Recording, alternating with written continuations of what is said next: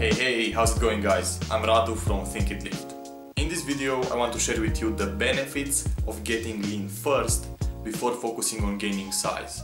I know there's a huge debate going online on whether you should cut or bulk first. Everybody has their own opinion and uh, by the end of this video I think that you'll agree that getting lean first is the way to go for most people. We'll talk about how leanness affects two things. Number one, aesthetics, and number two, lean muscle gains, which I'm sure is what you're interested into as well. Alright, let's get this video rolling.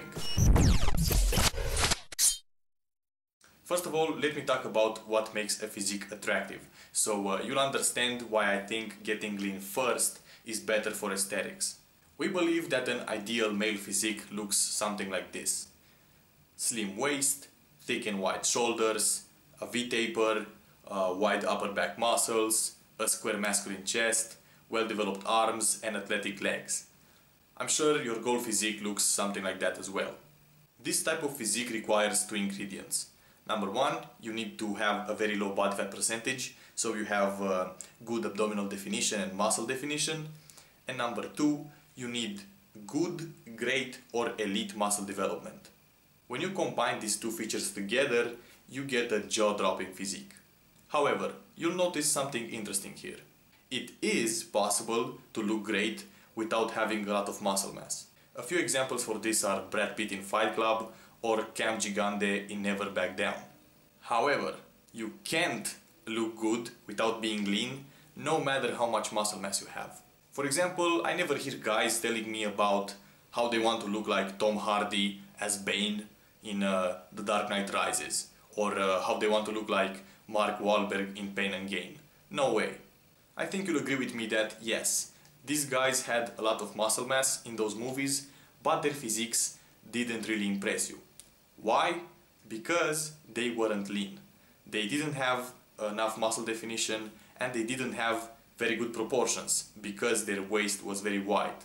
So you can see that when it comes to looking good, being lean is actually more important than having a lot of mass. So let's take a scenario from the real world. Let's say that a guy looking like this wants to start working out. What would you tell him that he needs to do first? Would you advise him to gain size or to get lean first? Well, I'd argue that you should tell him to get lean first. Here's why.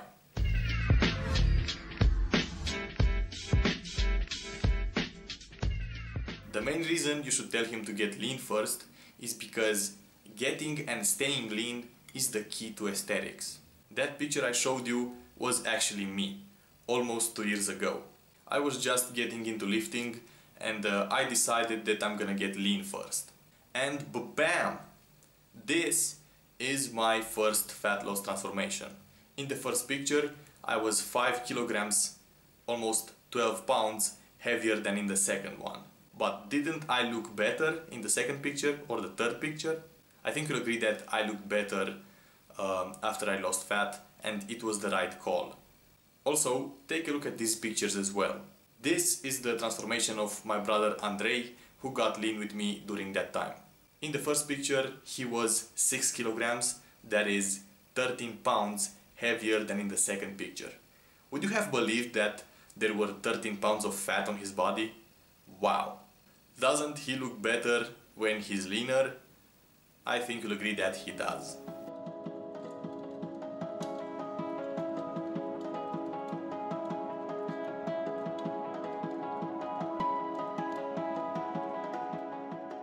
Now you'll say, yeah, that's great, but uh, I don't want to stay that small forever.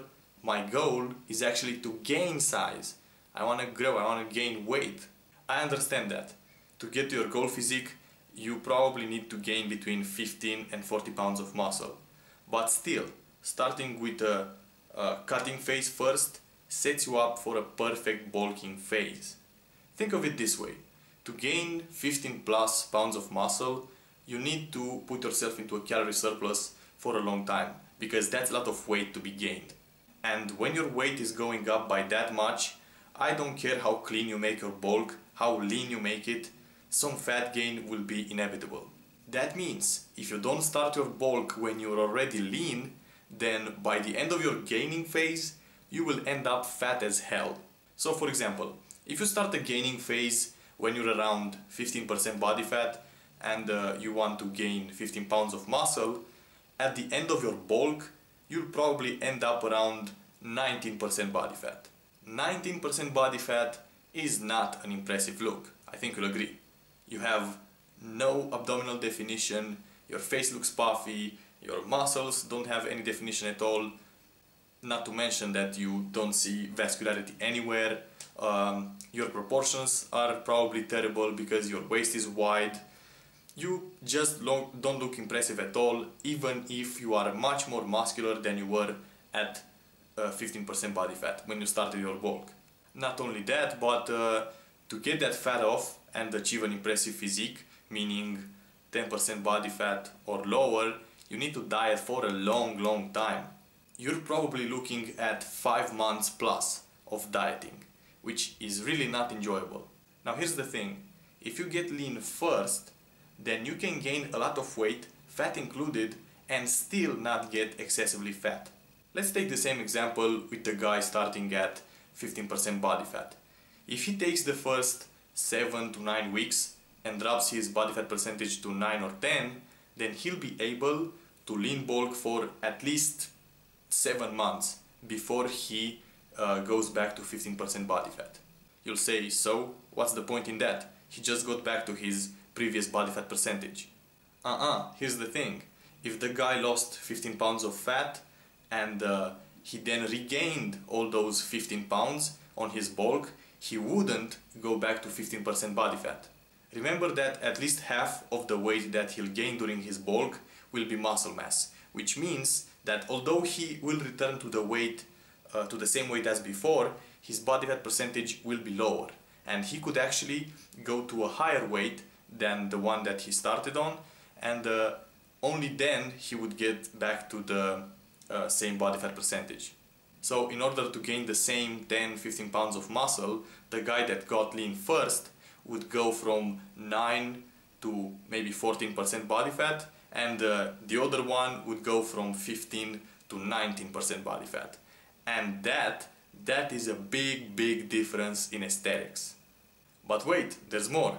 According to research and observations, when you're lean, meaning under 15, 16% body fat, something like that, a larger percentage of the weight you gain in a calorie surplus will be muscle compared to uh, the same calorie surplus when you are fatter. The reason for that is because when you're lean, you are more insulin sensitive, which means that your body can make better use of carbohydrates and uh, your nutrient partitioning is improved. Also, you may have a better hormonal profile when you're around 10% body fat because it seems that your testosterone goes up when you uh, get to around 10% because body fat um, produces estrogen which can decrease your testosterone levels. Now, as we get fatter and fatter, insulin sensitivity goes down which negatively affects nutrient partitioning, making lean gains much more difficult. Testosterone, as I said before, also seems to go down uh, when your body fat increases because body fat produces estrogen. So in simple terms, the ideal body fat range for gaining muscle seems to be between 8% to 15%. If you go above that or below that, muscle growth is usually negatively affected. So there we go guys, these are the three main benefits to getting lean before bulking. There are probably more, uh, but this is what I got today. If you have any questions, leave a comment below. Also, if you have any other sort of feedback or uh, you have anything else to add or uh, something else that you want me to know, leave a comment below. I read everything and uh, I answer as many comments as I can. Now, if you want to know what you need to do after you got lean, meaning what are the next steps to your goal physique, then uh, check out my free ebook the path to your goal physique. Uh, this will explain uh, what, how your fitness transformation needs to go down in much more detail than I, uh, I gave you in this video. Click here, get it for free, read it and follow it because uh, there's some valuable information in there. Thanks for watching this video until the end.